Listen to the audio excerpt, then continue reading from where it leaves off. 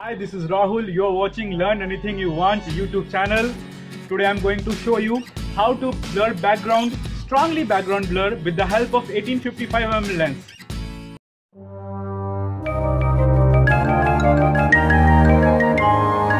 दोस्तों हर कोई कहता है कि 18-55 लेंस इतना ज़्यादा ब्लर नहीं कर पाता बैकग्राउंड को कोई कहता है कि आप प्राइम लेंस लो कोई कहता है आप कम अपर्चर लो बट आप अगर करना चाहो तो 18-55 लेंस से भी बैकग्राउंड को स्ट्रॉन्ग ब्लर कर सकते हो।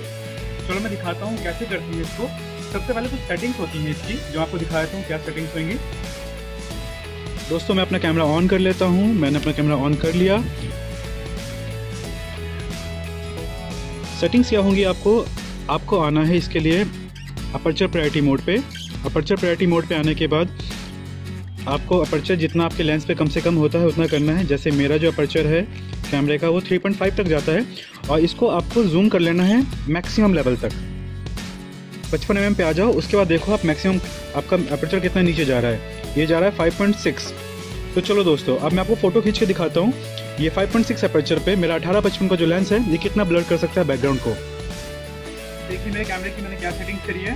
और मेरे पास एक छोटा सा ऑब्जेक्ट है, ये इयरिंग है। मैं इसकी फ़ोटो खींचूँगा और आपको दिखाऊँगा फ़ोटो कैसी आती है।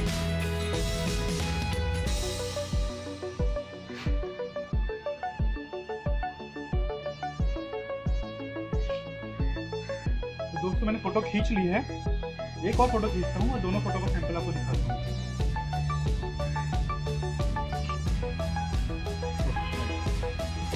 तो देखो दोस्तों बैकग्राउंड कितना स्ट्रांग ब्लर है इस फ़ोटो का।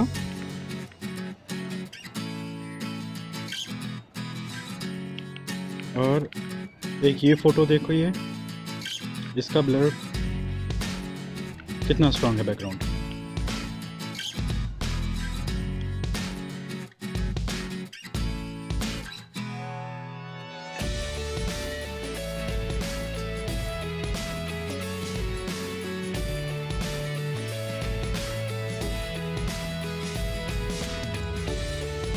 दोस्तों, देखा आपने, एक अठारह पचपन लेंस से भी आप स्ट्रॉन्ग बैकग्राउंड ब्लर कर सकते हैं।